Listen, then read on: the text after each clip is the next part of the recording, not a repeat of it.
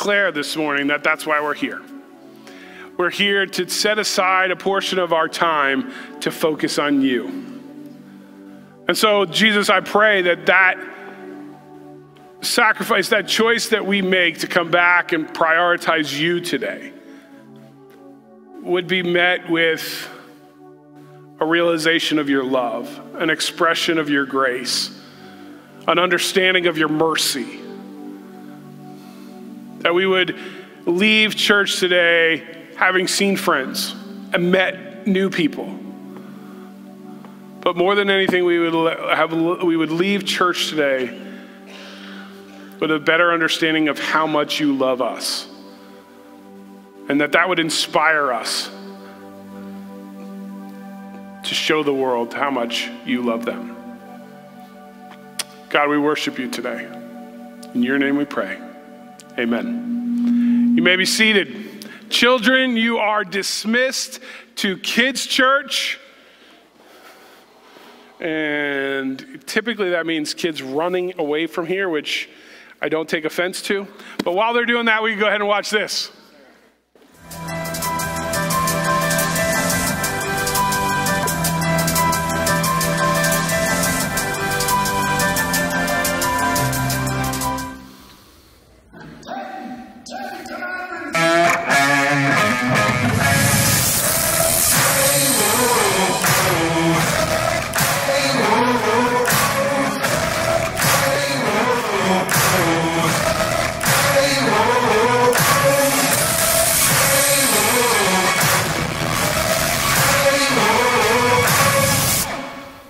Good morning.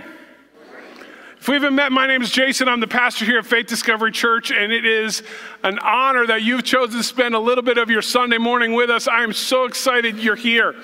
Uh, and for those of you joining us online, we're, we're excited that you're here, part of this community too. Uh, encourage you to engage each other in the chat today. Church is better when we're together. Church is better when you're here. And so uh, I'm it makes my, uh, my church experience better when I get to see you. So thank you so much for being here.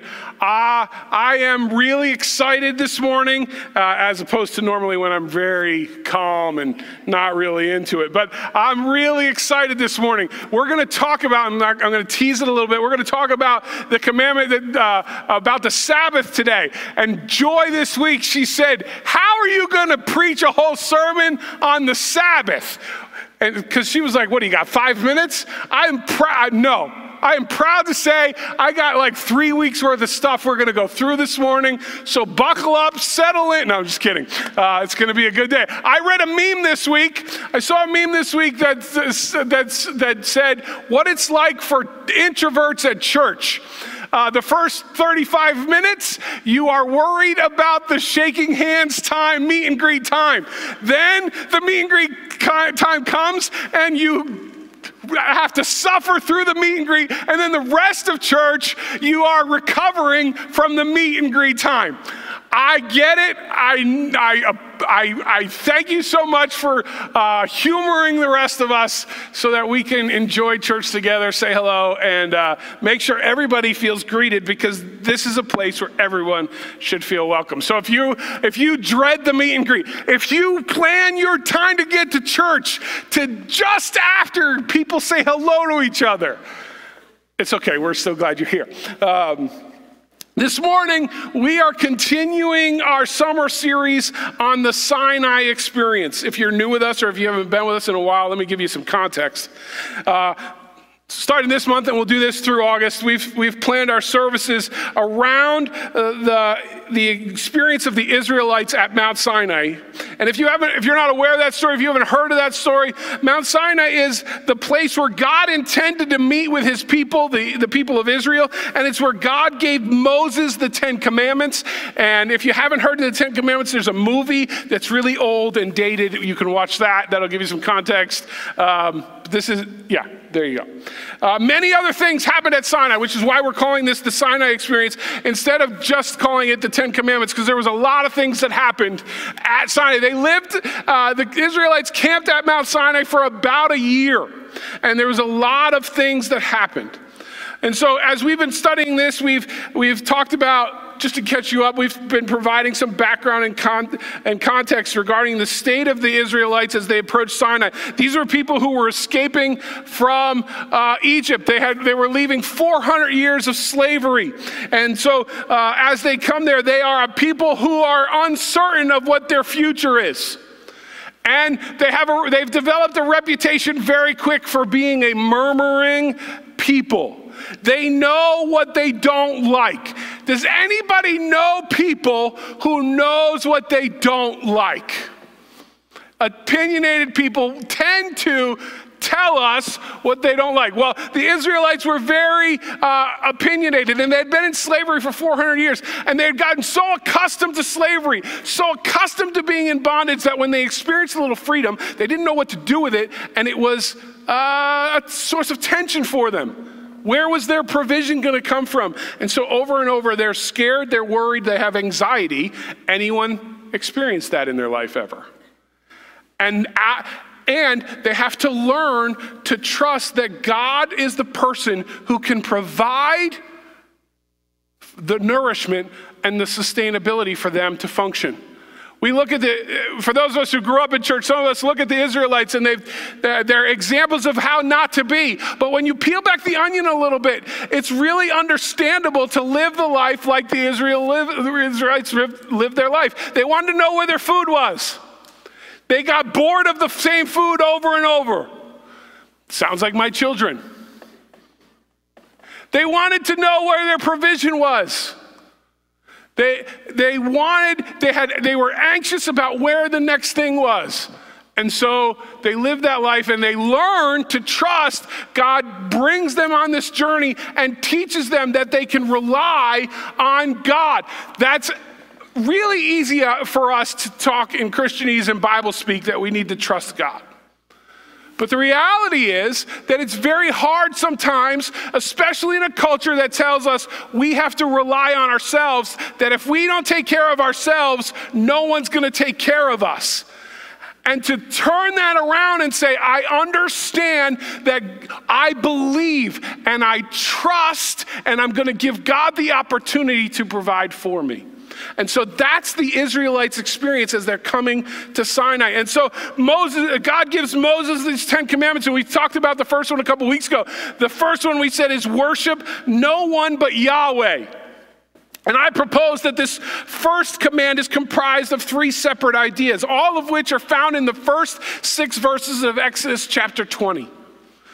The first of verse 2, it says, I am Yahweh your God. This first element, I am Yahweh your God, provides a rationale for limiting worship to Yahweh. Yahweh was God's, or was, is, God's name.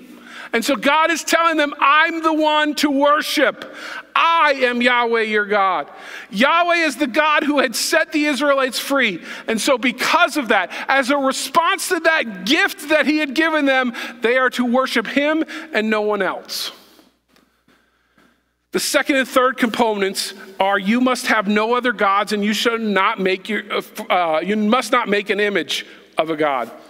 They're from verses three through six and they work in tandem. No image belongs together with no other gods. Worship and images went hand in hand in the ancient world. It would have been, uh, it would not have been possible. It didn't seem relative. It would have been outside the, the norm for uh, people to possess an image that it was not worshiped. In that world, the point of images was worship, and the means of worship were images. You had an image to worship it. Yahweh changed the equation. God made us in him, his image. And so that we are to worship him and not to try to create an image of him. Then last week we looked at the second command and we said it's represent Yahweh well. I suggested that the name command, do not use the Lord's name in vain, is more than just a language command, that it's better actually understood as an ethical command.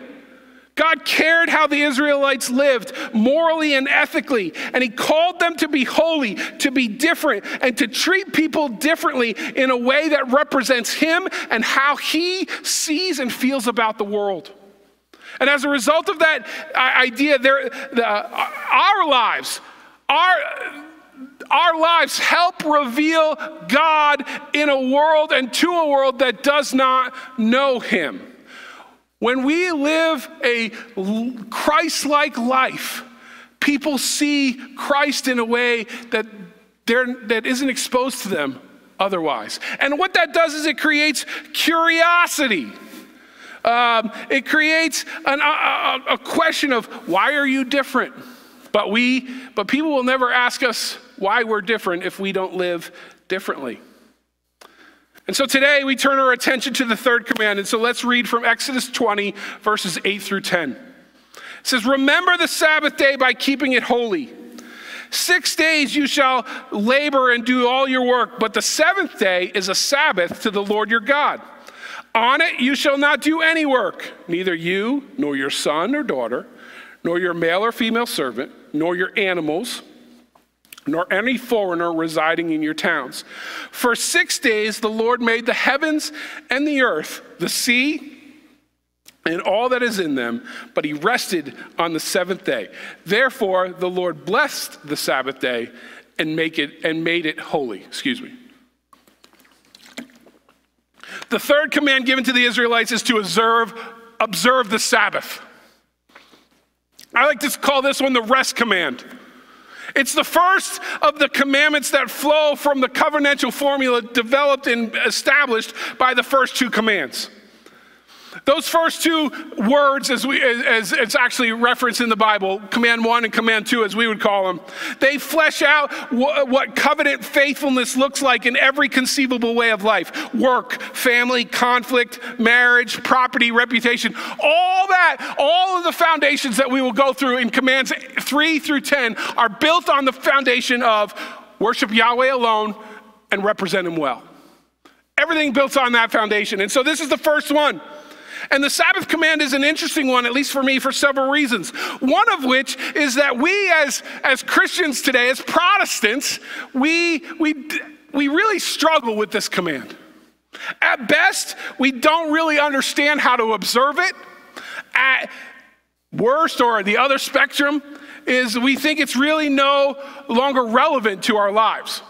And so let's do this morning. I propose that we do a little deep, little bit deeper dive into observing the Sabbath so that we can see and learn how it can be relevant to our lives today.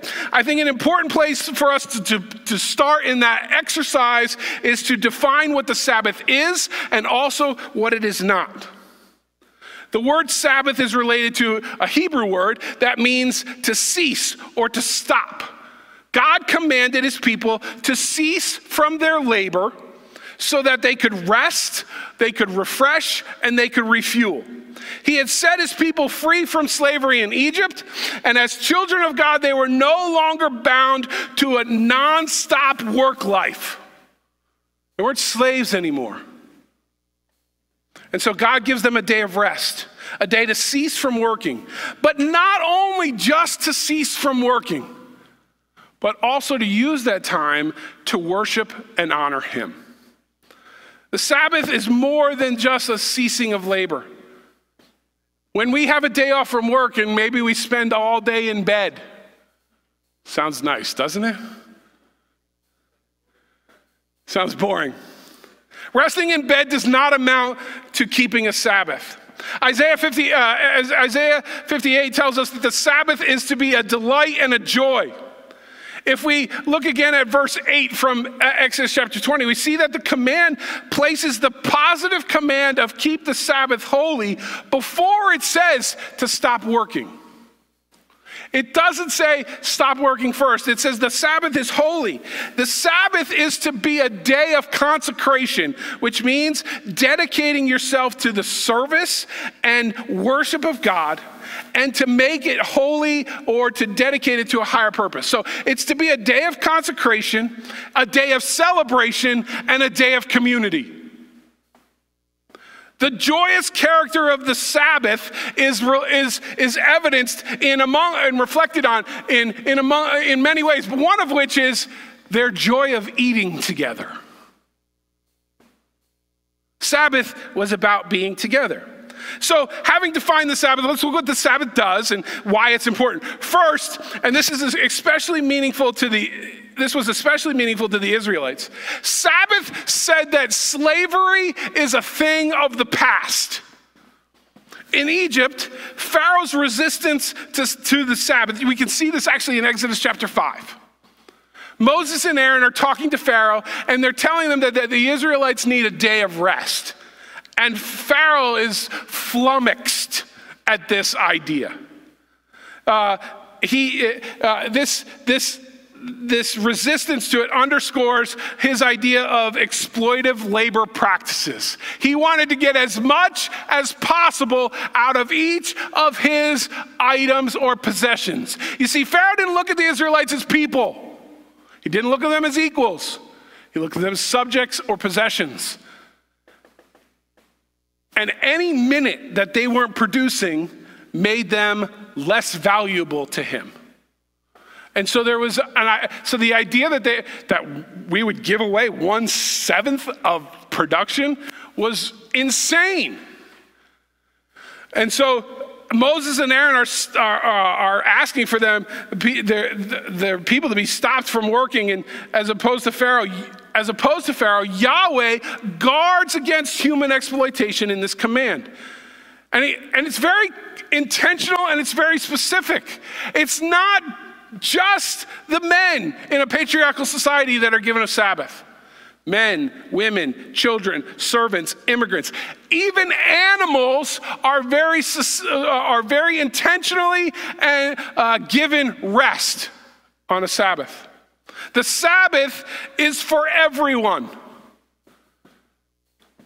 Observing the Sabbath is an expression of trust in God. When the Israelites wandered in the desert, they, before they reached the promised land, God provided them manna because they were hungry.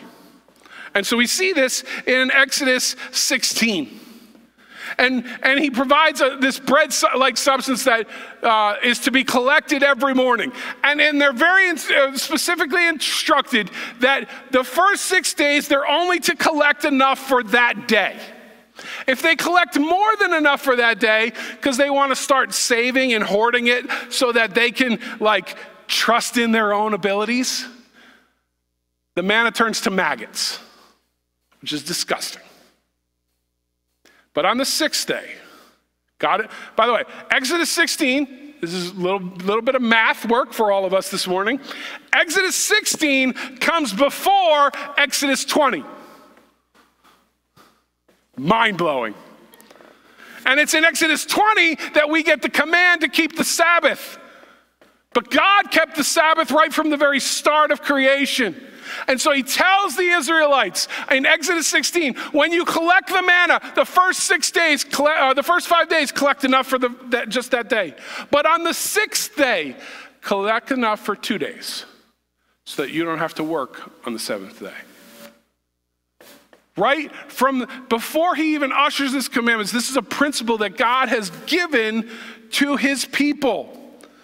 And so um, we read, uh, we read in Exodus 16 on the sixth day, they are to prepare what they bring in, that is to be twice as much as they gather on the other days. Um, trusting in God is not always easy for us. I was reminded of this this week. Um, not everybody, and I'm not patting myself on the back here, not everybody sees the world the way I do.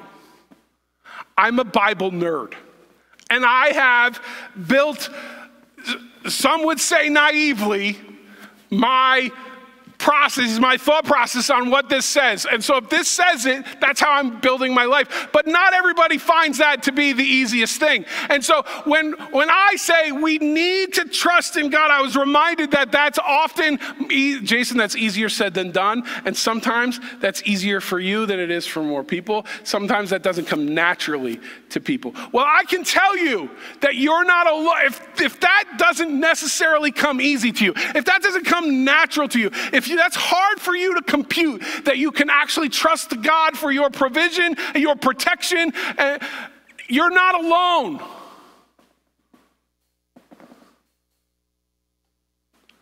Since the fall of man, One of the biggest mistakes we've made as humanity is convince ourselves that everything depends on us. And sometimes in our, in our, in our circles, that fleshes out that way. I know some of you, because I've talked to some of you. Some of you in here are the one in your circle everybody depends on.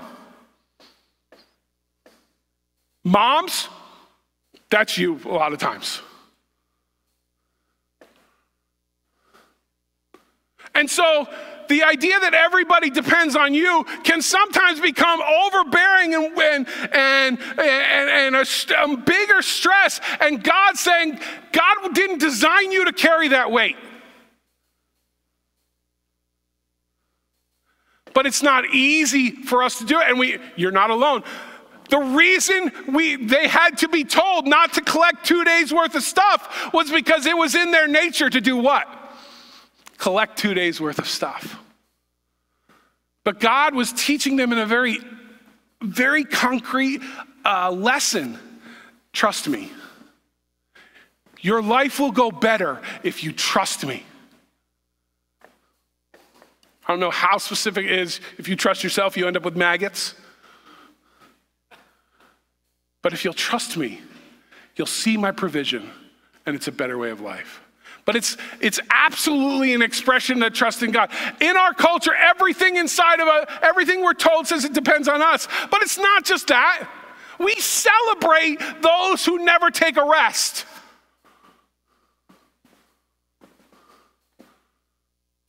And God's saying, I've built this pattern so that this would be, this is a sustainable, scalable system.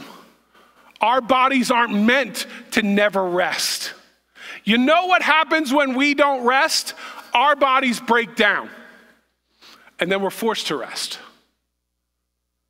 God built us and designed us to trust in Him, and He is faithful to provide and to be trusted. Well, I'm way off my notes. God, God is wanting us to rely on Him instead of ourselves. I know that doesn't make sense in a world of, in the world that you got to look out for yourself, but God wants to look out for you, and He has called us to put our dependence on Him. And those of us who have really struggled for dependence, for our independence, maybe we've been part of uh, abusive relationships.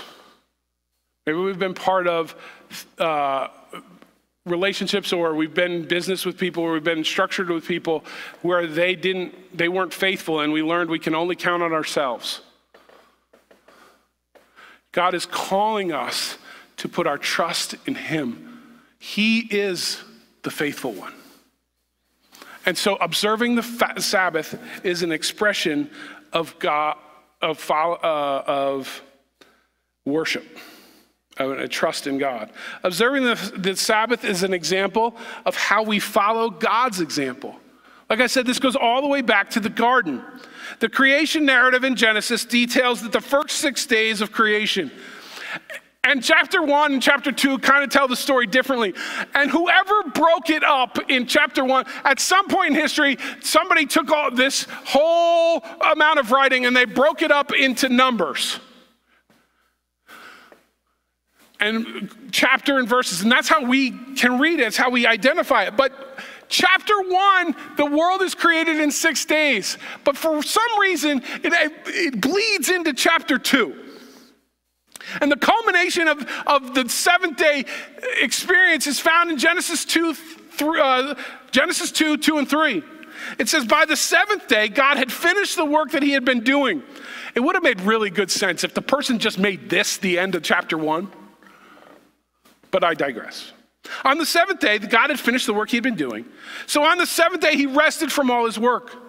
Then God blessed the seventh day and made it holy because he rested, uh, uh, because on it he rested from all the work creating that he had done. God sanctified, he made holy the seventh day. He set it apart so it's not like other days. The blessing of the seventh day is an oasis of rest so that our labor doesn't have to be monotonous or oppressive. By setting aside a seventh day, uh, by setting aside a day of rest, God instituted a perpetual rhythm for a human week. But he didn't live in our day. Jesus didn't live, Moses didn't live, none of those people lived in a world of cell phones and email and constant availability and 24 hour news cycles. I was listening to uh, uh, a podcast this week, and the person said, Remember when newspapers were important? Like you'd open the newspaper in the morning and find something out that happened? There's, they're still important, but you don't, you're not shocked by the front page anymore. You know what happens when it happens. You're, there's, we live in a world of constant availability, and it's these wonderful technological advances that make us available all the time. And they're wonderful because they make us available all the time, except they make us available all the time.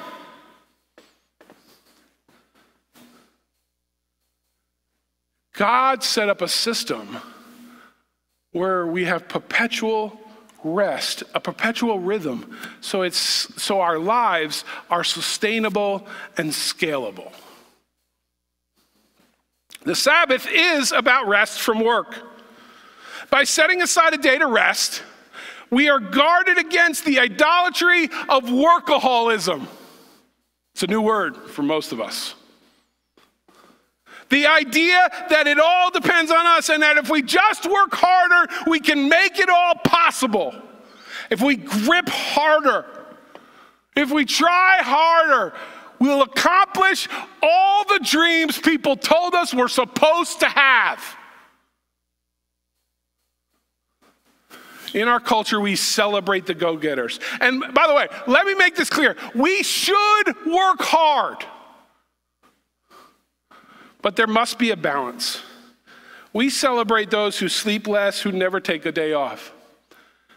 I'm going to tell you, years ago, I was working at a church and we were studying other churches. And there's this well named, well known, unnamed church that I'm going to blast a little bit here. The leader of that church was on a video, was doing an interview, was talking about how much uh, they appreciate their staff and they, they organize and they mandate a day off during the week. And he found that people, they enjoyed their job so much that they started coming in to volunteer on their day off. And he wanted to thank them for that. So he, he gave them a little stuffed flurry thing that sits on their desk. And it became this thing where people started to collect them. And then it was, let's see who's better on their day off because they come in. And the idea of having a Sabbath went right out the window. And we celebrated working more, doing more. And I sat there and I was like, something's not right about that.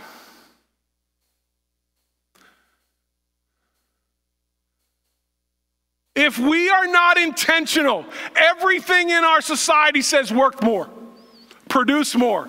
So you can have more stuff, so you can keep up with the Joneses. I don't know who the Joneses are, by the way, but we're all trying to keep up with them. We have to move away from the celebration of self to a reliance on the power of God. We work hard, we should. But there's got to be a balance. Because Sabbath is also about the enjoying the results of our work. Sabbath carves out times so that we can celebrate and enjoy the fruit of our labor. It provides a time for us to be together with all the statuses removed. If you look at the way Exodus 20, uh, 8 through 10 is written, on the Sabbath, the boss is not the boss. And the lower laborers are not lower laborers. And the stepchild is not a stepchild. And the out of town visitor is not an out of town visitor. Everybody's on the same level. We're all equal. Because Sabbath should be a day of consecration, it should be a day of uh, connection. It should be a day of celebration and it should be a day of community. But it's not about who's higher in that. When you go back to work on Monday, there might be a boss. But on the Sabbath, we're all in it together. None of us get any more than any other. We're in it together. They're part of the community. The, the boss, the lower worker, they're all part of the community that's celebrating together. So here are some takeaways. I'm going to do takeaways two different ways today. First, my kind of geeky takeaways, and then very practical ones, because I'm going to try to be a little bit more practical with some of our takeaways. The takeaways for observing the Sabbath. First, observing the Sabbath requires planning. This does not just happen through circumstance. God told the, in Exodus 16, God told the Israelites on, on the sixth day, collect two days worth of work. They had to plan for it. This became very real to me, my understanding of this during uh, COVID. Be very honest.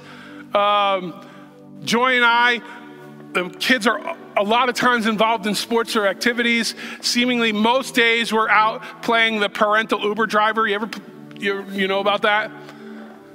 And so we'd often not eat dinner till 7 30, 8 o'clock at night. And at 7 30 and 8 o'clock at night, neither Jordan or I wanted to cook. We're exhausted. And so for pre COVID, we did a lot of takeout. We would do takeout a couple times a week because it was just easier.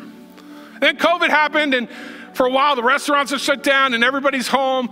And so we started planning out our meals. We didn't want to go to the store a lot. And so we sat down and we regulate, we, we planned out what we were going to do for the week, and then we planned the grocery store order. Some of you are like, how could you have not been doing that all along?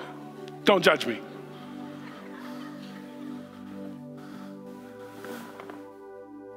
And our grocery shopping became way more efficient when we planned it out and the meals were good. We had a bigger variety. Everything worked because we worked the plan. But it only works if you got a plan. Something's gonna happen on the Sabbath. Promise you. You start trying to observe the Sabbath, that's when the emergencies are gonna happen. So, what's your plan to deal with the emergencies? The Sabbath doesn't happen, observing a Sabbath doesn't happen by accident. It requires planning. So next, the next thing is it requires order. Chaos. Some of us thrive on chaos. Some of you are really good at that. Chaos makes the Sabbath or rest more difficult to attain. So God gives very dis- distinct guardrails for how the system of Sabbath was supposed to work. We need, we need, God brings order into the chaos. If you got a chaotic life, bringing God into that will help you have more structure and thus be able to observe a Sabbath. Observing the Sabbath regulates equality. It make it, it, it takes intentionality to see those who are different than you or on a different status level than you as equal or as level so that you can celebrate and appreciate who they are. When you come to a place where you says, where you say, I don't know why I would say you says, but where you say, not everything relies on me. You start to appreciate the contribution of others around you. If you've come to a place where you say, I feel like everything relies on me. My challenge to you is to start to identify what you appreciate or celebrate in the others around you. Because it will take away some of the stress. You'll start to see the contribution of others. Fourth of the, the geeky ones, we'll call them.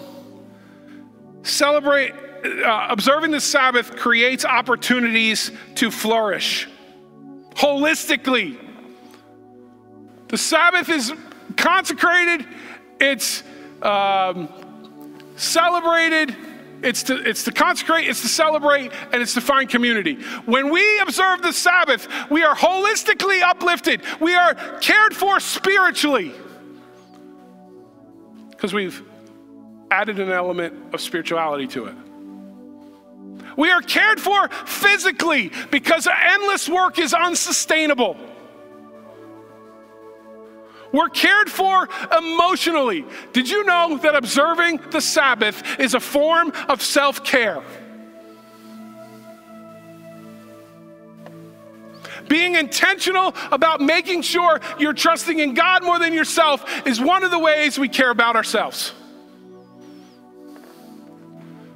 It's relationally. It, it, creates opportunities to flourish relationally because it levels the playing field and it raises the appreciation you have of other people and of God. When you realize it doesn't all depend on you and God's gonna provide for you, He's gonna take care of you, He's gonna help you flourish, you appreciate Him more, and you feel less anxiety about it. Doesn't mean you're not gonna be stressed, doesn't mean you're not gonna have concerns, doesn't mean you're not gonna ask yourself this all the time How is God gonna do this?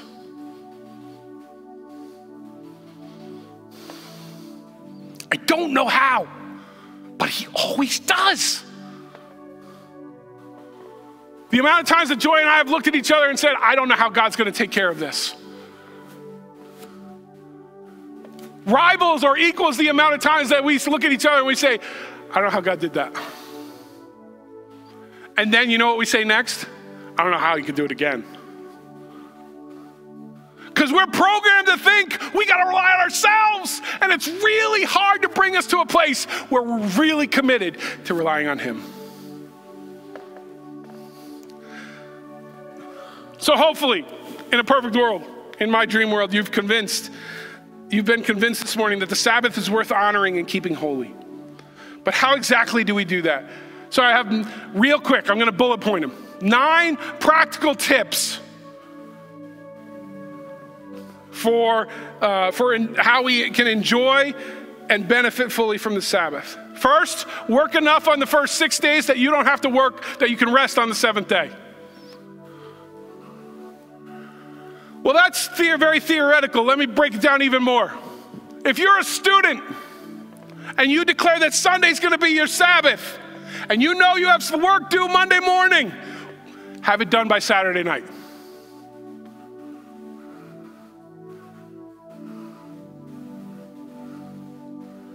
You might have to work harder in the six days so that you can res- reserve the Sabbath. It will pay off beneficially for you. You know what?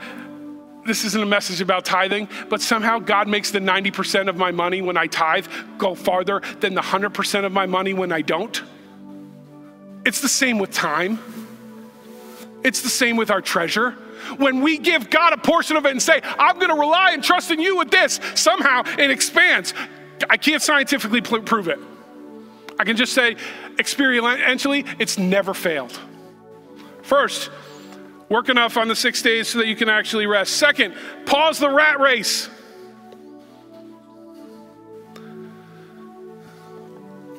A lot of this stuff comes from an article that I, if you want, I can give it to you. It's got longer elements of it.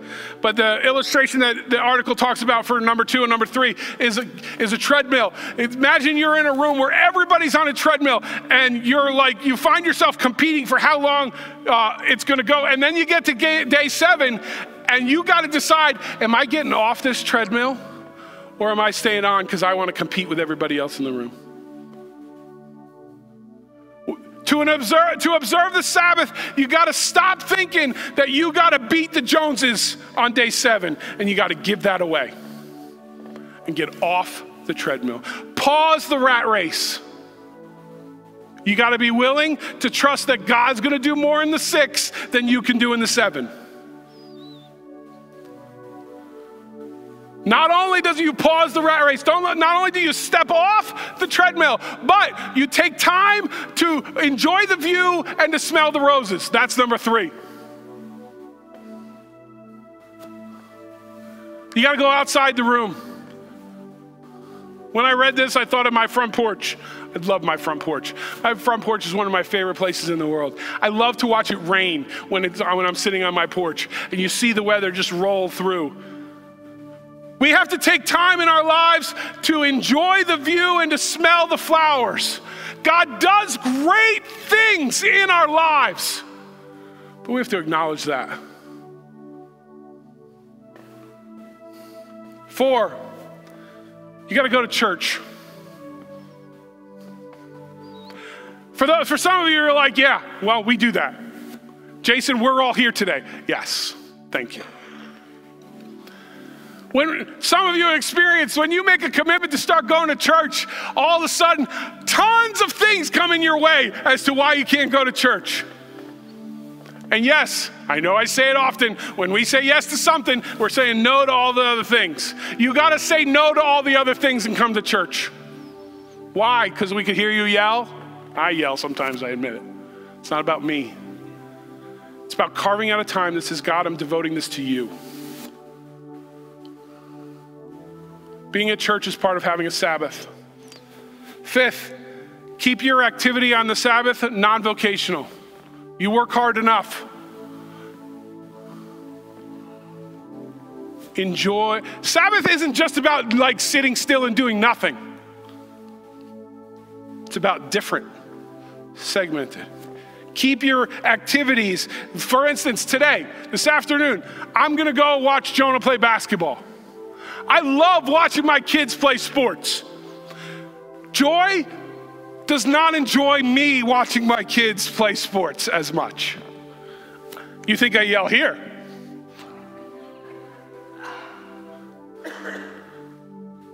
Just a wonderful, like, getaway, totally separate activity. And I find community in the parents. And they all know I'm a pastor, and they all think I'm crazy. So they're by, right on both parts. And they'll ask about church and all this kind of stuff. Whether they come here or not, it's just me being in the community and fine. But it's it's a non it's not me about being there to like pastor the people. I'm there non-vocationally separating the time today. Six. That's six, yeah. Avoid work email. Don't look at your email on the Sabbath. Well, it's only going to be a second. You know how often a second or two of looking at your emails turns into 45 minutes to an hour? Carve out the time to really take the Sabbath, to separate yourself from that stuff. Seven, take a nap. When I was a kid, we had church Sunday morning, Sunday night, and in the middle, my parents would take a nap and they would make us take a nap. And there was nothing worse. I mean, football was on, or baseball was on, or basketball. Sports kind of dominated my life. Maybe bowling was on, if nothing else. I got things to do. Now go take a nap. Take a nap. The world will keep going if you, car- if you take some time. Number eight, second last one be a good neighbor. Focus on somebody else in your community. Is there somebody who, who can use your help or a kind, might not be an action, maybe it's just a kind word. But you're focused on your community and not necessarily your stuff. Nine, take some time to do family devotions. Well, Jason, we, we already went to church. Yeah. If you've got kids in kids' church, ask them about their lesson. Talk to them about how your family can practically implement this. Ask them what they disagreed with. Ask people in your family what you didn't what they didn't like about what I said in church. Here's the deal. If all of us agree on everything, some of us aren't necessary. If you agree with everything I say,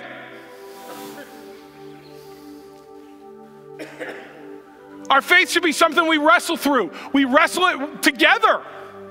If you're single, if you're if you don't necessarily have a family to do it with, you don't have kids, that's fine. Find a group of people to do it with. We're all family.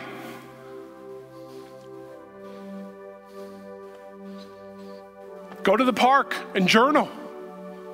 Find a way to make this different.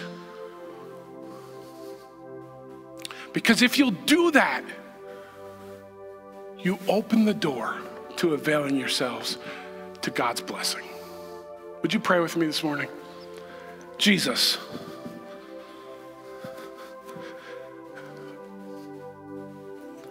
God, I do this for a living, and there are times where it's hard for me to do this. Help us to carve out the time for you. Help us to trust you.